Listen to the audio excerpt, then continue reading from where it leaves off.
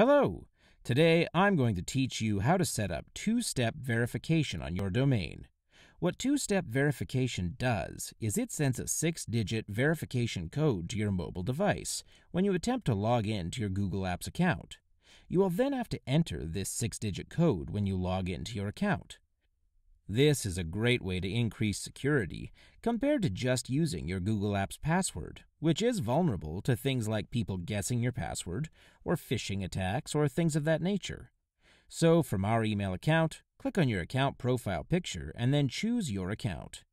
Come to the left side here and click on the Signing into Google link. Then scroll down to two step verification.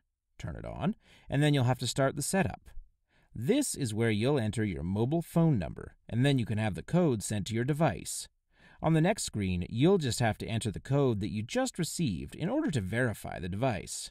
Now, when we attempt to log into our account, it will ask for a verification code. Here you'll be presented with the option to get a list of backup codes.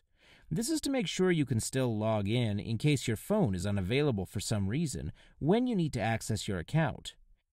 I hope you found this helpful. If you have any questions or comments, please just leave them in the comments section below.